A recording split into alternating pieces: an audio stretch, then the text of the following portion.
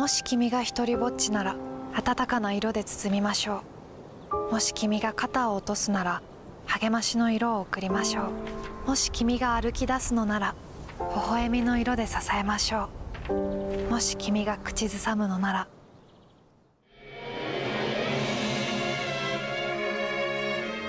晴れやかな色を重ねましょう。あなたの心をカラフルに。カラーコンフォート DIC